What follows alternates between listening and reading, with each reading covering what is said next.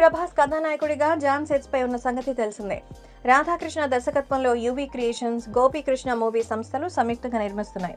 Prabhas career ఇరవైవ cinema ఇది.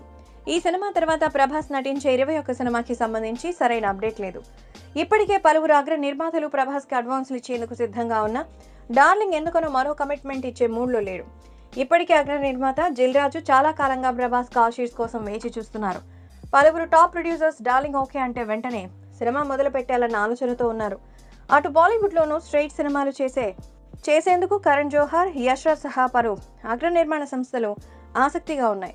అయితే డార్లింగ్ మాత్రం ఎందుకనో నోనో అనేస్తున్నాడట. అసలు ప్రభాస్ మైండ్లో ఏముంది? ఎందుకంత భారీ ఆఫర్స్ని కాదనేస్తున్నాడంటే దానికి గల కారణాలు ఉన్నాయని తెలుస్తోంది. టాప్ త్రీ రీజన్స్ గురించి ఆరా తీస్తే అందులో మొదటిది ఇక డార్లింగ్ పెళ్ళి చేసుకుని ఒక ఇంటివాడు కావాలన్న ఆలోచనలో ఉన్నాడు. ఇప్పటికే ఇంట్లో ఒత్తిడి ఎక్కువగా ఉంది.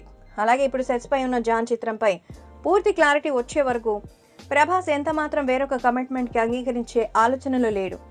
పాన్ ఇండియా చిత్రం సాహో ఫ్లాప్ అవడంతో జాన్ విషయంలో కాస్త తర్జన భర్జన పడిన సంగతి తెలిసిందే.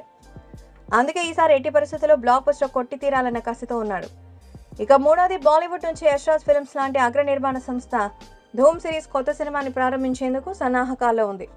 ఈ సినిమాకి ప్రభాస్ పేరు పరిశీలనలో ఉండడం కూడా అతడు మరో సినిమాని అంగీకరించబోవడానికి కారణమని భావిస్తున్నారు.